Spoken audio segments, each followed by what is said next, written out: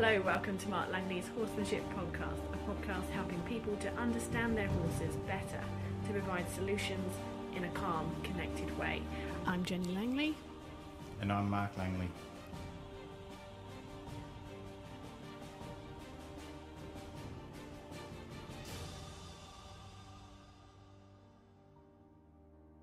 This week's podcast, uh, we're going to chat to Mark about some of his experiences with horses and where he gets his some of his quite strong philosophy on how you should train a horse. This is quite specific to the young horse starting clinic that he's just done, uh, and his response to a horse that came through that had had some training that he felt hadn't helped that horse in any way so I wanted to him to just kind of divulge a little bit more about his own personal experiences, about what he'd seen, and what has led him to come to the position that he now feels quite strongly on with certain types of training. So it might be helpful to some of you listening, and it might be interesting as well to hear these stories.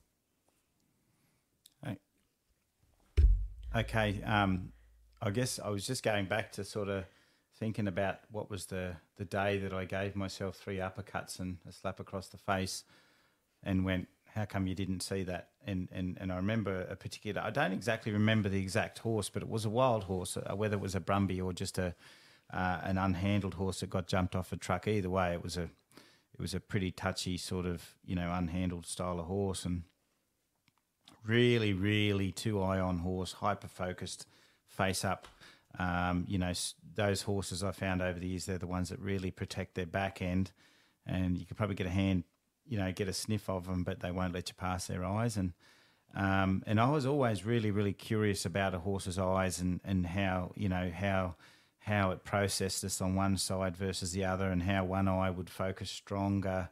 Uh, to go to destinations and the other eye, and yeah, different things like that, and why it had a nervous eye versus a more curious eye.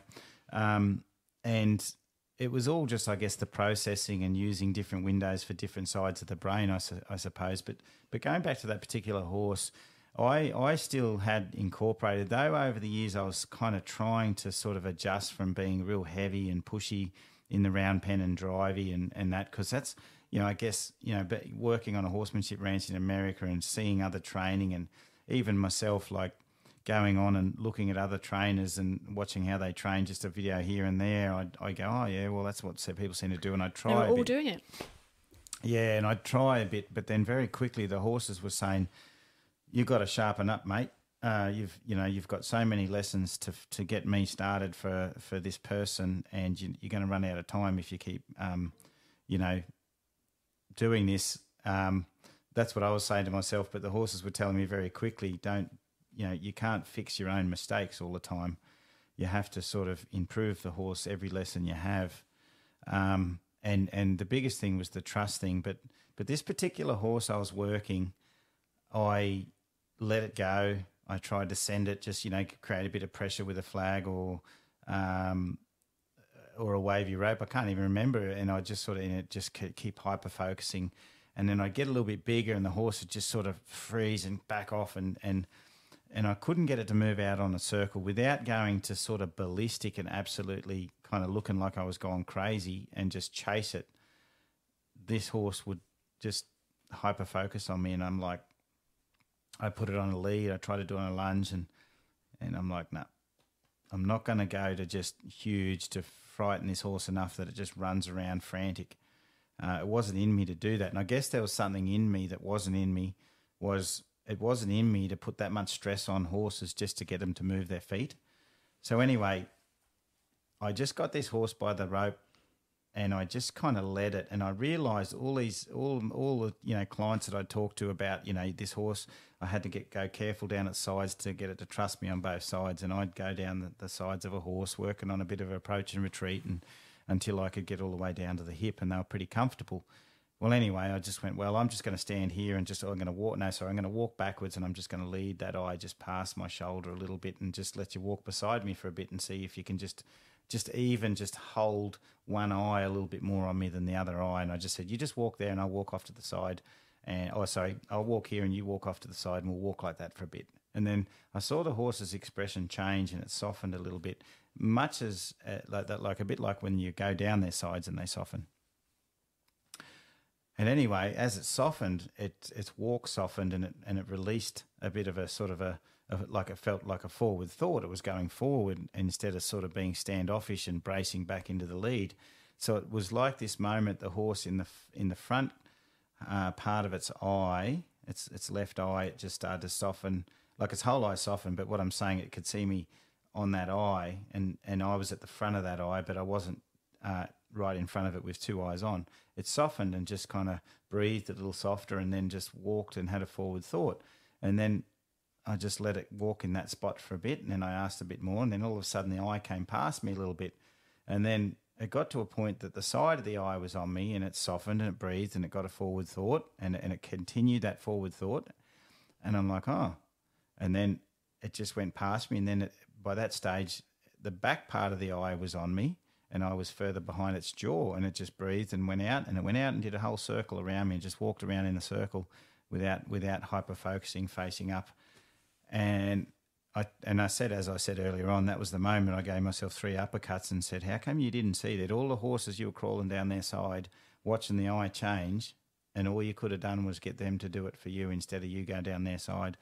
And that was the day that I pretty well knew the answer where I wanted to go with do I keep cutting corners with driving pressure or do I master guiding a horse and leading them and building them and, and building their confidence through them making good decisions you know, because because because I say this to a lot of people when you're working really tough, nervous horses, they will train you to be an absolute guru until someone else can't go near them, but they'll trust you and they'll go anywhere with you. But in any other environment, they'll they'll get anxious because of all the other people in the environment that they haven't learnt to trust with their energy. Because with the super sensitive, nervous horses, you get so tuned into their anxiety that actually you actually uh, stop at the right moments and you know how to sort of help them out and this and that and the other and and and they they'll have you trained to be to be a, a nervous horse specialist um, in the sense of you are good at around nervous horses but the nervous horses never evolved to be confident horses so, just a bit of background then with um, with Mark's um, history for those of you that might be a bit new to him. He started out um, professionally starting horses um, out in rural Australia and was sent horses generally off the back of a truck that had never been handled before. Um, and over the course of about 10 years, he started well over a thousand horses and got quite a reputation because he was able to take, well, he took on all horses. And so people would send him um, sometimes quite difficult ones that other trainers um, hadn't been able to or wouldn't touch. Um, and so his experience was quite broad um, in terms of what he was doing and the types of horses he was getting. A considerable portion of them were ex- extraordinarily nervous, wild, and sort of the flighty horses. He did a lot of Arabs, for example. Um, and so that experience was quite unique in some senses because it was just him training in Australian bush um, by himself and really just him and the horses um, getting to know each other, uh, one after the other, after the other, after the other. Um, so very vigorous training, and you know trying to do the right thing by the horses, but obviously always on a timeline. As anyone in the horse industry knows, you've always got that pressure of, of time behind you. It's, it's tied up with the sort of cost to the client. Um, and so what happened then? So you developed this way of doing things in a slightly different way. And, now if we fast forward um, almost 30 years, um, you're still beating that drum of look, guys, we don't need to be doing some of these training things because you know, you know, you know it's not right for horses. Um, but people are still doing it. Lots of these training methods they're still very, very, very common. And I suppose there'll be a lot of people out there listening will go, "What's what I'm doing? I've seen other people do. It's all out there, and I don't see what's wrong with it." Is there a scenario you can give me where you can just sort of talk about um, a particular type of training that you've walked away from, uh, you've changed because you've seen the effects that it does? Is there one that you can outline? Oh, the big, the biggest one I talk about, and you know, people say me talk about driving pressure, and you know, um, there's times that you need to step up and, and drive a bit for certain things, but um, what, what people have done is they've relied on it. So one of the biggest things that I really try and steer people away is the whole idea of drive and draw. Um, so drive and draw is you move up, move your energy up into the horse. They move away from your energy, and then um, then when you got when you want to get their attention, you might step across their eye and draw them in. Uh, people use that at liberty in the in, in any techniques that you know some sort of hooking on type technique or or you know join up whatever you want to call it. They they they, they push the horse out and then they draw it in. Um, with their body language. With their body language, yeah, yeah, mm-hmm. and it creates like this um, vacuum um, that that kind of almost sucks the horses in and makes them overface and, and follow us around. And um, the problem with it, it, it, it sets you up. For, like I, I, I do a, I, there's a saying that I say, I said, you don't want to get stuck in the revolving door of drive and draw.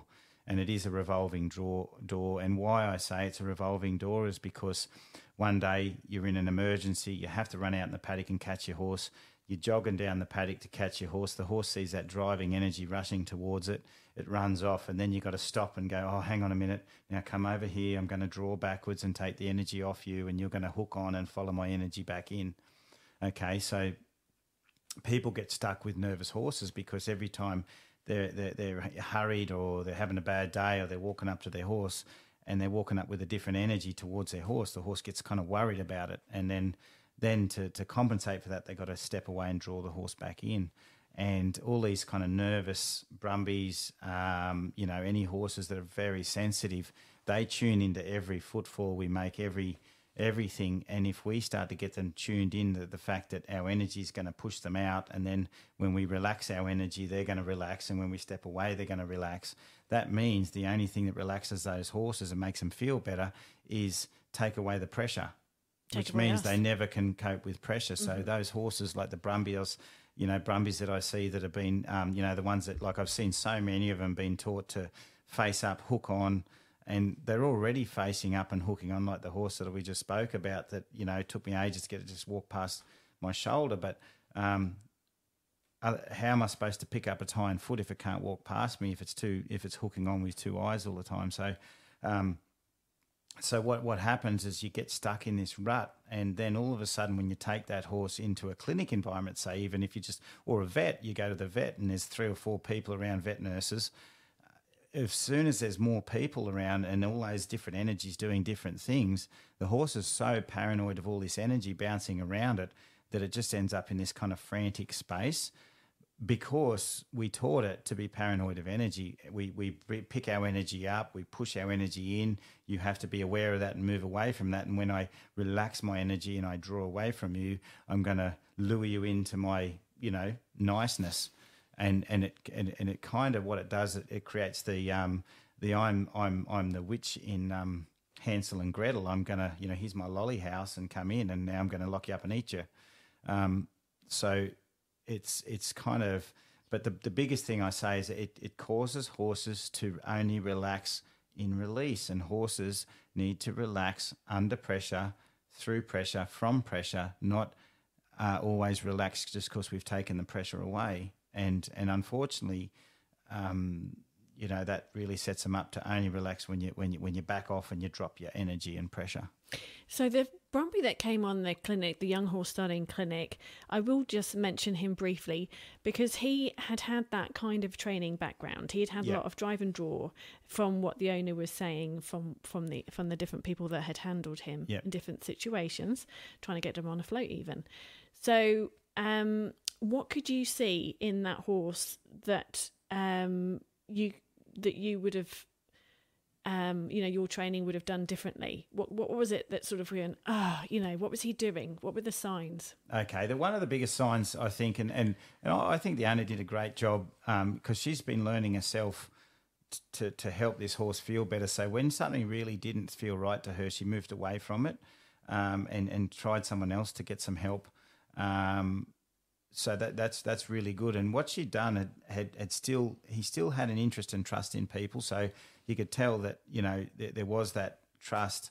But the biggest thing I think that I, I wanted to, to address with him was the fact that he he he was a horse that got used to overfacing um, or running off. But but he's because uh, he'd had a bit of the you know the, the the hooking on, send him around and get him to face up, send him around, get him to face up. So what he would do, he would face up and he'd put us two eyes on, and that was his sort of safe decision. Two eyes on, so you're safe. But then he couldn't cope with people coming in from different angles. And then he got to a stage that uh, he would start to play the game of facing up, but then he wouldn't like people going past his eye because down his side he was nervous. And I know at a previous place um, they had a bit of trouble catching him, and it was someone else who was needing to catch him too, and uh, and it caused a bit of a spook skedaddle in him where he'd just sort of suddenly be ready for the catch and then then bolt again. But then he'd kind of run off and then he'd probably face up again and just end up with you back at the front of him again. So so it, it caused the, the the, the, the sending around and facing up causes a, a, an anxiety to face up and, and think that's the answer. That's what they have to do. The other thing is every time I asked him to lead past me, he'd speed up and go out on a circle. But the funny thing was, is I would loosen the rope, and even if I wasn't in a small yard, he would still stay on a circle. So he'd been circled that many times, thinking that was the answer: circle and face up, circle and face up. Uh, so I couldn't control the speed. He was still quite anxious down his sides. Um, you know, I had to really work on him trusting that he could process information coming from me down his side and be quiet and slow in his movement while he does things, not just rush because energy's coming at him all the time. So, when you were working, starting your horses in a different way, you were starting to use these new techniques. Uh, and you were starting to also look at their horses, uh, how they were processing and where their thoughts were, and all of that sort of interplayed into just training in a very sort of holistic way, as opposed to just moving their body around, which I think you had been doing originally. Mm. Um, what did you notice um, once you started to sort of train in that in that more encompassing way? What what were the um, benefits to the horses then that you could see, as opposed to someone another horse that you would you would teach that had had a different background, um, in terms of how responsive they were, how soft they were? What were the Okay, well, there's there's there's the the, the emotional or mental side of it, and then there was the physical side. Um, so what what what happened was is the horses um, one of the biggest things I noticed was they could process my information without a high level of anxiety. They they still sometimes needed awareness, but they didn't become paranoid about the information coming from me. So they they actually got so much better at being aware of the situation, as in where I am, where the rope's going, the fence that's there, the things that are around them. They they had more confidence to process their whole environment, not just hyper focus on the person in the middle moving them and the energy that's coming at them. So so by by um so so you know when people talk about your horse has got shallow breathing, uh, a horse has got shallow breathing because they're kind of tense. Uh, they're all braced in the base of the neck and their shoulders are tight and their front feet are tight and they're kind of bound up in the hind quarter and they're moving high headed, very stiff because they're very alert, they're very nervous, and, and they're kind of looking for the danger all the time. So once they realise that I could guide them in a way that didn't make them feel under threat or danger, they started to search. They'd sniff the ground, they'd sniff the things that they're going to, they'd process uh, thing, uh, all the things like so. So basically, what I sort of say to people is, your horse is hyper focused on the question; it's not searching for the answer. And they go, "What do you mean?" It's like, well, they're just staring at the question. They're staring at your stick or you standing there going, You have to move me. And I'm like, The horse is not searching. I'm asking a question. And the, instead of the horse looking for the answer, going, Oh, does he want me to look over there? Does he want me to back up? They just look at where the pressure comes from and say, You must put pressure on me so I can move off pressure. Mm. So they end up stop searching. So basically, what happens is the horses end up carried by pressure and they don't think away, they don't think about the answer. As I say, they're thinking about the question like it's a big, bold question, but they're not even looking at, they're just staring at the question. So they're not processing, they're not searching, they're not thinking. Their whole world actually caves in around yep, them to this point where they're aware of the human and pressure yep. and not much else. Yep, yep. And so all their natural instincts have been sort of uh, taken away from them and they become this shell that not only you see as being quite yep. braced, but also like quite unhappy. Yeah, yeah. So, so some of the chronic horses that I get, like I say, chronic, is, is I've had horses that were sort of super, apparently fancy, you know, show liberty horses, and I call them chronically braced horses because they're hyper focusing at me and the possible stick that I might have to send them on their fancy circles and stuff. And one of the biggest things that help them the most is I spend an hour just saying, "Can you look away from me?" And they go, "No, I can't. I must not. I must not. I must not look away." Yeah. And and I say, "But you can. Look, I'm gonna I'm gonna wave my hand, or I'm gonna wave a flag. I'm gonna wave something that stresses you a little. And when you're a little stressed, can you look away?" And they go, "No, I can't. I must not." And it just and and and just to see the hyper focus on that horse. Um, not but and, and then all of a sudden they look away and go oh i've just looked away and then i've just looked back and he's still there with a smile on his face. I haven't done anything wrong. Oh maybe i'm allowed to go towards my thoughts not just always move away from my thoughts um, and move away from pressure. And, and and i've seen horses just unlock so much and they sniff the ground they breathe they they just go oh thank god i can i can i can actually process my environment. And um and I had a horse one time at a clinic up in Queensland, and it was an endurance horse, or going to be an endurance horse. And uh, she luckily got a spot on the second clinic because we made a little bit of headway on the first clinic, but the second clinic was what kind of really nailed it and, and got the horse soft. The whole first clinic, she said, My horse is spooky outside. Why is it spooky outside all the time? I'm like, It's paranoid. She goes, Well, it's it's kind of looking for danger outside all the time. It's kind of looking around all the time and it gets really anxious. And I'm like, Yeah, but look at it in the groundwork. I said, it's looking for ne- where the next stick's going to jump out. I said, what have you done? And she told me, and I said, well, What has she done? well, she did sort of training where you put a stick out and the horse moves off the stick, and then you put a stick out the other way and it moves off the other way, and and then you teach it to move around, you know, with sticks. You move its hind quarter with a stick, you move its forequarter, forequarter Which with doesn't a stick. sound nasty. It sounds like you're dancing with it's a horse. it's kind of it's kind of what you see in that movie training sort of stuff. You know, sticks to get them to rear, and I call Mm-hmm. it I call it stickmanship. It's kind of like gets the horses to hyper focus on where the little stick's going to pop up, and then all of a sudden they just get paranoid about the pop up sticks. Right. So again, the horse isn't allowed to make its own decisions and search because it's all about where the stick is and it moving off the stick. off the pressure. It's, it's all about moving off the pressure Right. and just looking for where the next pressure is. So I said to her, I said, I said, I can't get this horse to not hyper focus and just move away from energy or the feeling of energy. So I said, we've got to get this horse to take one soft step in lead rope. And until it can take one soft soft step in lead rope and then just look away, then it it's it's going to be you know tricky. So so what happens with that paranoia of the groundwork?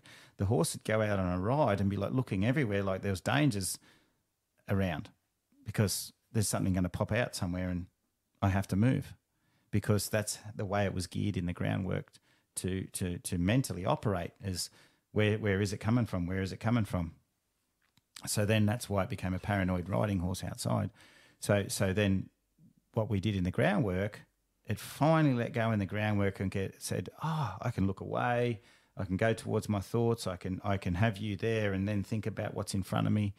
Um, and then it sort of let go of all that paranoia in some lessons on the ground. And then when she rode it in the arena, the horse went, "Oh, I can walk softly. I can look around. I don't have to keep looking back." And and then that was the change that made that horse just about ready to say, "Well, okay, you now you can ride it out without paranoia."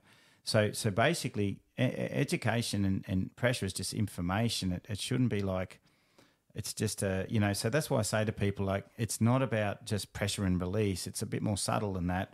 It's about you know the horse following the path of least resistance not looking for danger with its eyes.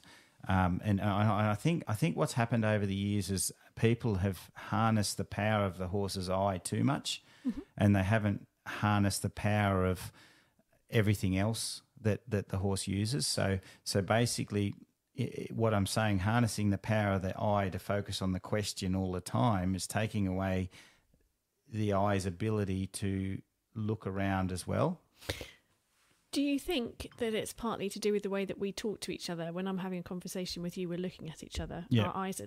But but when you're having a conversation with a horse training it, I suppose the humans want to see that face. They want Yeah. to see, but it, it doesn't need to be that way, yeah, does it? and there was something that sort of, I- I think even if you look at the roots of horsemanship, some of the old timers that would have, you know, t- like brought it to the public a bit, like you know, you, you hear the, the the words of Tom Dorrance around, and then and then there's this whole lineage that comes from that, and I think if you look back to the old stuff, there was less body language, and it was just more of a, a subtle kind of you know, when it was a job for the horses, the horses had to go to work. They were work horses. They didn't have time to dance around round yards and, and do showmanship stuff.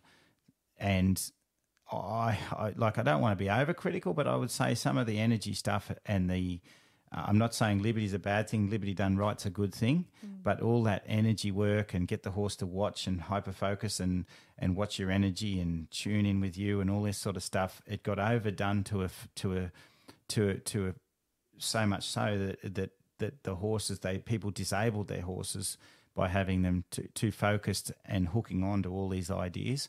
Um, because everyone wanted to do it without a rope on because that was really cool and, and that looks really cool, you know. But uh, you know, but it's not really cool if your horse flips over backwards when you tied it up. Yeah, or spins and, on the trail. Yeah, road. and and I've had that times where I've had had horses that done a lot of eye stuff, and then they panic when you pull on the head, or they but they can do these amazing eye tricks. Uh, with their owners, and it's like, well, hang on, this is a holistic approach. And for me, I was training horses for the general public, for for, for cattlemen and women, for you know endurance riders, trail riders. Um, the horse had to survive a whole experience, not just a dancing around a round yard experience. Yes, yeah, that's right. Okay, so it goes back to pressure then, their ability to be able to cope with pressure. Yep. So, um, someone putting a lot of pressure on a horse in a round yard, doesn't it over time get used to that pressure and feel okay with it?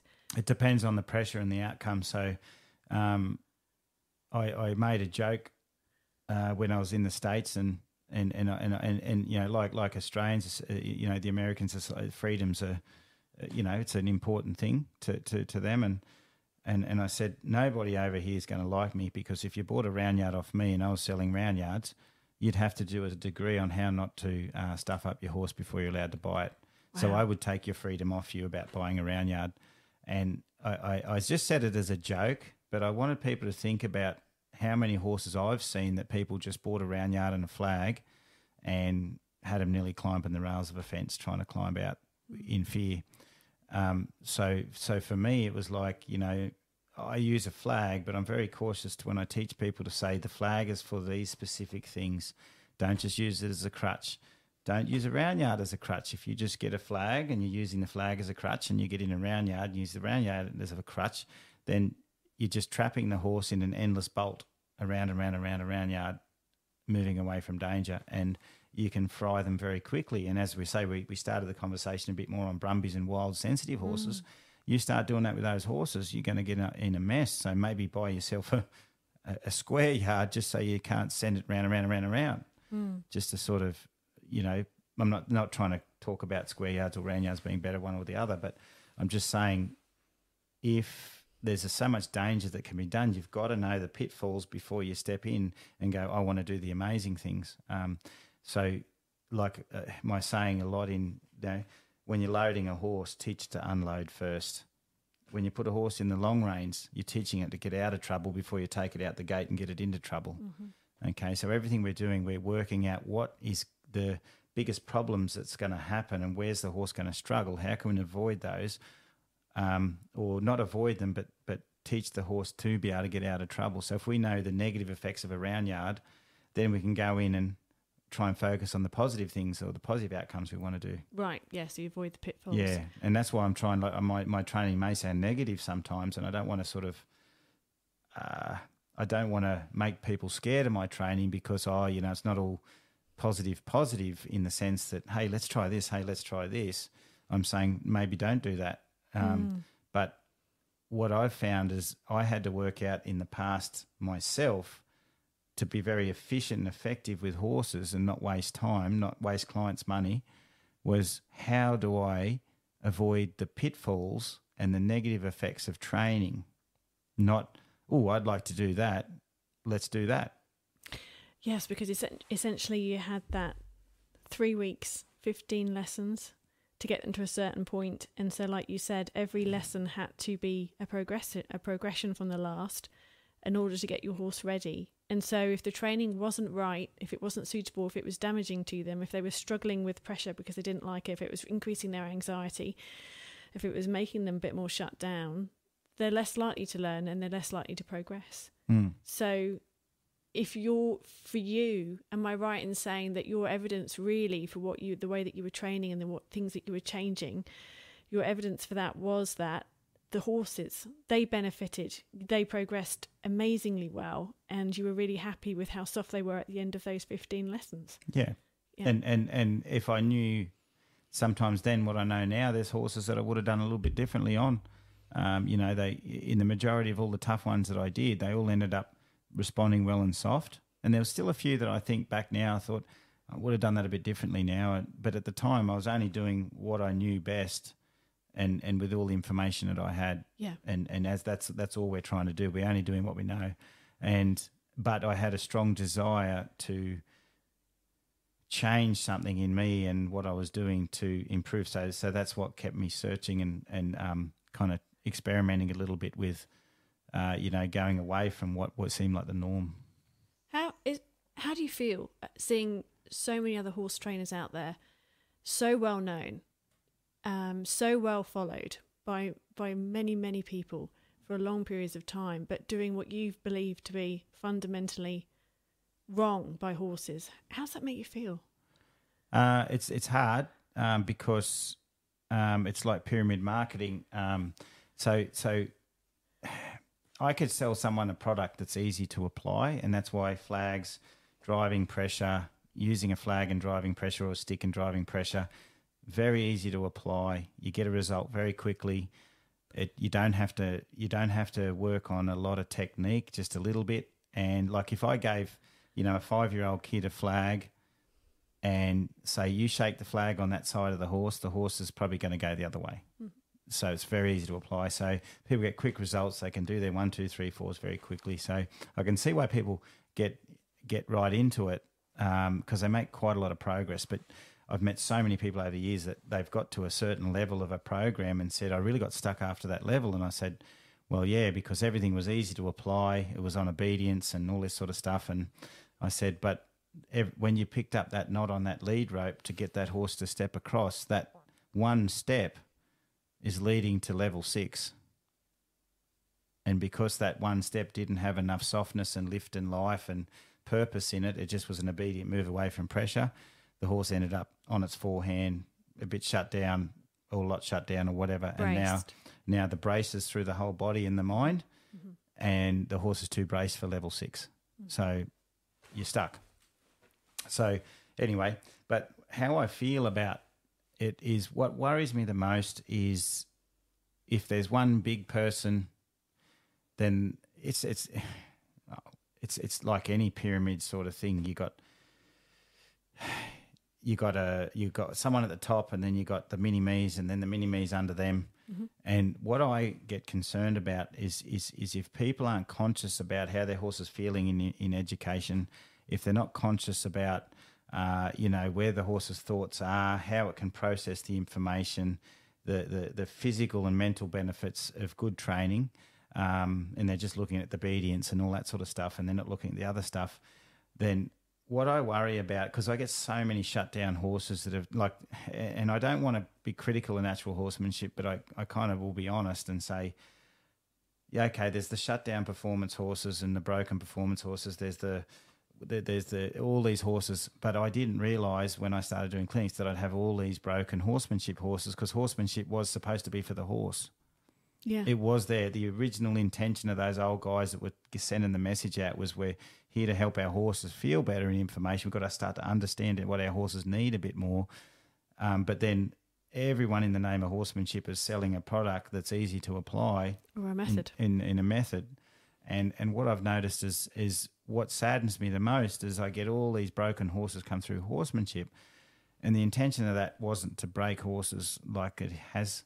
Uh, but the problem is is it's such a big business that you've like by the time you get to the top of the, the to the bottom of the pyramid, you got the one at the top. You might have tens of thousands of horses at the bottom underneath the people at, like the just the general public training. So the effect is is not just on one horse. That that one trainer who's got that big method. It's not on the horses that he's trained. It's it's on all the thousands of people that that message has gone through Yes. and and then the people they help in their in, in their neighbour, and then that neighbour helps another person, and they say, "Oh, we'll just get around yard and chase it round a bit." And I see that so much. I was at an agistment centre doing a clinic, and I always laugh on the weekend because the agistees come, and I laugh in a cynical way because I'll be talking about the effects of driving pressure and round penning. And as we're doing the clinic, the round pen is kind of at the Yeah. end of the arena, and then one agister comes in, chases their horse around a bit, gets it to face up, chases it the other way, puts it back in the paddock, goes back home. Next one comes in, does the same thing, and I'm like, see, I said, you know, I'm here telling you guys alternatives to just sort of sending a horse around, and but it's so common everywhere.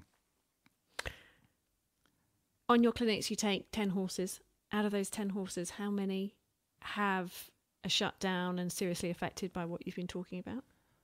I'd say sometimes it's 10. I've done some clinics where the whole lot, uh, you walk up to them with energy, they're looking, what are you doing?